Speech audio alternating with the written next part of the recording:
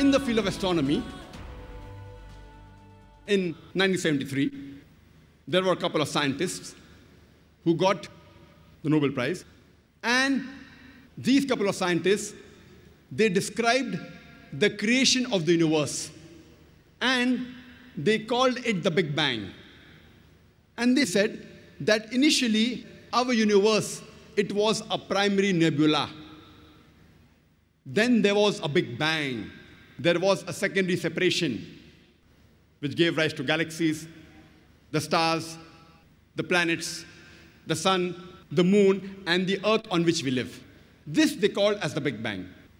The glorious Quran mentions this in a nutshell 1400 years ago in Surah Anbiya, chapter number 21, verse number 30, the ayah I started my talk with. And it says, Avalam yara lazina kafaru. Do not the unbelievers see? Anna samawati wal arda kanat. That the heavens and the earth were joined together and we clove them asunder. This verse of the glorious Quran speaks about the Big Bang in a nutshell 1400 years ago, which science has discovered recently. Hardly 30 years back, 35 years back. The glorious Quran says in Surah Fussilat, chapter number 41, verse number 11, Moreover, he comprehended in his design the sky when it was smoke and said to it, and the earth Come ye together willingly or unwillingly. And they said, We come in willing obedience. Allah subhanahu says that He said to the sky when it was smoke, Come ye together along with the earth willingly, or unwillingly. And they said, We come together in willing obedience.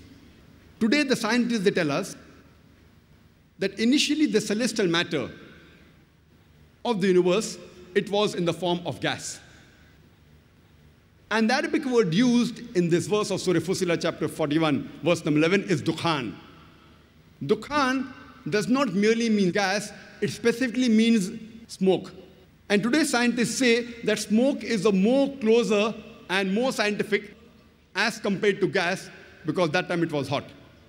Imagine, the Quran mentions 1400 years ago, which we discovered recently, that the initial celestial matter of the universe, it was in the form of smoke.